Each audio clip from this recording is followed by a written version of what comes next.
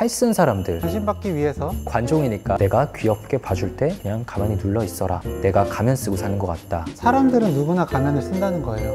구독, 좋아요, 댓글 그리고 주변 분들께 수많은 광고 부탁드리겠습니다.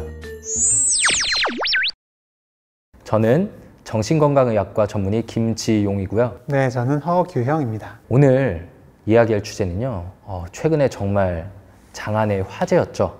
그 탈 에 대해서 좀 이야기를 해보려고 합니다 저희가 뭐 어떤 말을 함으로써 이 논쟁을 더 번지게 하고 싶은 그런 의도는 절대 있지 않고요 그냥 저희가 이전에 그 분을 보면서 왜 탈을 쓰는지 그리고 수많은 사람들이 보이는 반응들 정신의학적으로 느낀 점에 대해서 편하게 얘기를 해보려고 합니다 저희도 이제 유튜버 꿈나무에서 드디어 유튜버가 됐는데 그런데 평소에 사람들이 이런 질문을 좀 많이 하세요. 어, 그 유튜브 하시는 분들의 심리는 뭘까요? 네, 일단은 관심을 받고 싶은 마음. 사실 그냥 뭐 혼자서 네, 글로 쓸 수도 있고 아니면 친구들끼리 그냥 얘기를 할 수 있는데도 불구하고 그 많은 사람들이 볼 수 있는 그 유튜브라는 공간에서 말- 얘기를 하는 거잖아요. 또 거기에 동조를 해줘요.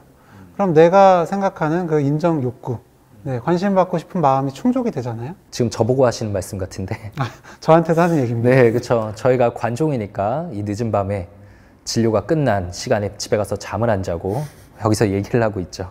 어, 근데 그 중에서도 탈쓴 사람들 의 심리는 좀 뭘까요? 아무래도 그렇게 관심 받기 위해서 공공 장소에다가 얘기를 하다 보면 리스크가 있잖아요. 아, 그렇죠. 그래서 그런 익명성이라는 뒤에 숨어서 굉장히 편안하게 리스크 없이 자기의 얘기를 할 수 있고 그 속에서 전능감이나 내가 상황을 조절할 수 있다는 조절감. 저는 원래 유튜브를 잘 안 봤으니까 이번에 준비하면서 그분을 좀 보게 됐는데 와, 말을 진짜 강하게 하시더라고요. 막 하시더라고요. 사실 그게 가면을 벗으면 절대 할 수 없는 일이잖아요. 그렇게 가면 벗고 했다가는 어떻게 되죠? 가면 벗고 했다가요? 바로 고소 아닌가요? 아 바로 고소죠, 그렇죠? 그리고 네. 고소보다 더 무서운 건 정말 신상 털리는 거라고 음. 생각해요. 요즘에 아. 자기 신상뿐만 아니라 뭐 자기 가족, 자기 애인 이런 사람 신상까지 다 털려서 정말 집안이 풍비백산 되잖아요. 요즘은 누군가를 비판하는 게 특히 유튜브라는 널린 이렇게 열려 있는 공간에서 누군가를 비판하는 게 너무 큰 리스크를 뒤따르는 일이라 가면을 쓰고 한 그분의 심리 자체는 이해가 가요. 그런데 문제는 이렇게 막말을 하니까 어, 되게 시원하니까 네. 어, 나는 할 수 없는 말을 저렇게 막 던져주니까 재밌으니까 그래서 많은 사람들이 모여들었는데 아 내가 이렇게 대단한 사람이구나 내가 이런 수십만 명의 내 말 한마디에 이렇게 좌지우지 되는구나 그래서 좀 현실 검증력을 잃어버리신 거 아닌가 싶을 정도로 강한 발언들을 했었죠. 음, 어떤 말씀을 하셨어요? 어, 최근에 그 한의사 그 직역에 대해서 공격을 하면서 네. 당신들 다 모여도 나보다 어, 더 발언에 힘이 강할 것 같냐? 음, 내가 귀엽게 봐줄 때 그냥 가만히 눌러 있어라 이런 말을 하셨는데 그런데 영향력으로 봤을 때는 일부 네, 이해가 되는 부분도 있어요. 네. 유튜브 구독자 수도 굉장히 많았고 어, 근데 그게 사실 좀 이해는 되지만 너무 제 생각에는 자기 자신에 대한 그런 과신이 너무 심해지지 않았나 이런 생각이 들고 아 그래서 이 정도로 심해질 때는 뭔가 숨겨진 이유가 있겠다라는 생각이 들었었는데 그분의 신상이 파헤쳐지다 보니까 온갖 과거력들이 사실 나오더라고요. 근데 정신과에서는 흔히들 이런 말을 하잖아요. 너무 과대한 자기는 그게 높은 자존감에서 나오는 게 아니라 어, 수치심과 연결되어 있다라고 얘기를 하잖아요. 음, 그렇죠. 네. 보통 자기애가 넘치는 사람 보고 자기를 진짜 사랑하는구나, 자존감이 높은 사람이구나라고 생각을 많이 하시는데 사실은 자존감이 낮기 때문에 오히려 그걸 보상하기 위해서 부풀리고 자기애가 높은 사람처럼 보이는 경우가 많죠. 정말로는 속마음에서는 낮은 자존감, 수치심을 숨기기 위해서 과도하게 그렇게 오히려 가면을 쓰고 강하게 말하지 않았나 이런 생각이 좀 들더라고요. 네, 그런데 이제 계속 가면 얘기를 하다 보니까 떠오른 건데 저희가 진료실에서 사실 아, 나 너무 가면 쓰고 사는 것 같다. 이런 내가 싫다.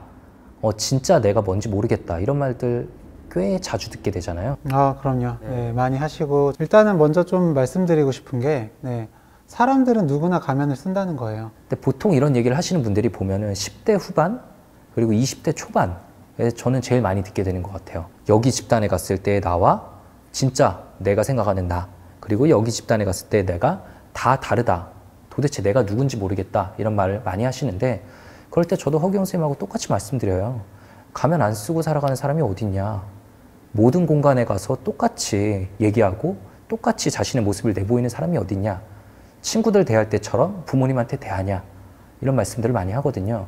저희가 지금은 되게 학술적인 사람인 것처럼 이렇게 얘기를 하지만 좀 이따가 끝나고 이제 치킨에 맥주를 먹으러 가면 어, 여러 비속어들을 남발하면서 게임을 하겠죠. 음, 네, 그런 거랑 똑같거든요. 그래서 저희가 말씀드리고 싶은 건 가면을 쓰고 살아가는 거는 사람으로서 너무나 당연한 거다. 오히려 그렇지 않은 사람이 이상하다. 그 사실에 대해서 어, 본인을 어, 좀 부족한 사람이거나 주관이 약한 사람 이렇게 생각할 필요는 전혀 없다는 점을 꼭 말씀드리고 싶어요.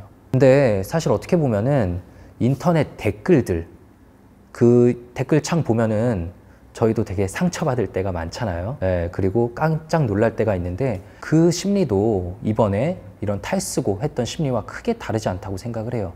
익명성 속에 숨어 있는 그런 공격성들. 그런 사람들 마음속에 쌓이는 그 부정적 에너지가 결국 표출될 수 있는 곳, 가면을 쓰고 표출될 수 있는 곳이 인터넷 댓글창, 그리고 익명성에 기댄 공간들이 아닌가. 그렇게 또 공격성을 여과 없이 드러내면은 그거를 잘 드러내지 못하고 있었던 사람들의 그런 심리를 탁 자극해 주거든요. 보면 시원하잖아요. 예, 그래서 휩쓸려 가는 사람들이 있는데 어, 가면 쓰신 그 분의 과거를 보니까 혐오와 비하 같은 감정들을 그대로 드러내는 그런 커뮤니티에서 굉장히 오랫동안 활동을 하셨더라고요. 적극적으로. 거기 있는 사람들이 무엇을 원하는지, 어떤 거에 열광하는지를 정확히 꿰뚫고 본인도 어느새 그 분위기에 제대로 동화가 되어버린 것 같아요.